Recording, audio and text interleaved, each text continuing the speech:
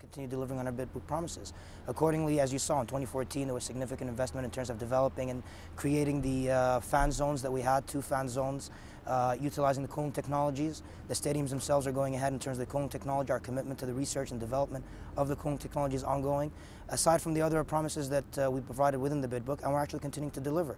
So for us, in terms of action on the ground and progress on the ground, we've been continuing from, we've been start, we started from day one, and this is just part of the process, and we're, and we're continuing, you know, as, as business as usual.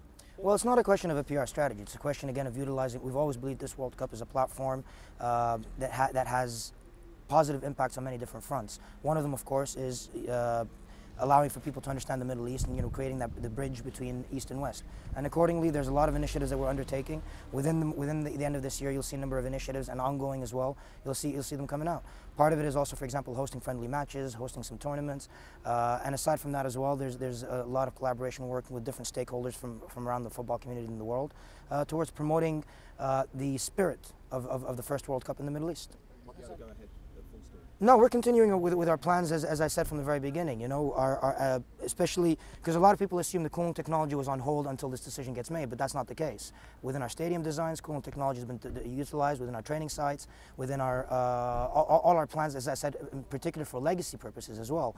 The investments are continuing, the research and development is ongoing, and the deliveries is, is ongoing on the ground. So no, it hasn't changed anything. What do you, the Supreme Legacy Development Committee, what, what can you do to try and improve the conditions for the workers who are building the World Cup stadiums? Well, I mean, as we've always said, in terms the commitment towards workers' welfare and, and, and the progress on the ground, uh, we're committed to it from the very beginning. The health and safety and dignity of every person working on a World Cup project is of the paramount importance for us.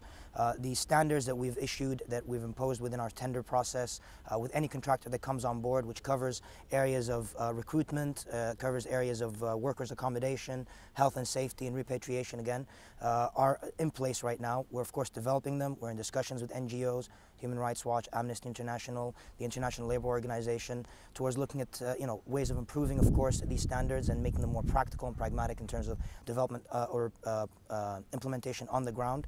And we're learning uh, about this, you know, as we implement about any potential gaps on a day-by-day -day basis. So progress is being made on the ground, along with other stakeholders as well. Qatar Foundation, Qatar Rail, and so on. A lot of other stakeholders are also working on implementing their standards on the ground as well. Um, so progress is being made. It's, it's a gradual progress, uh, but I'm, I'm proud to say that uh, many international NGOs have recognized the steps that are being taken, in particular with the Supreme Committee.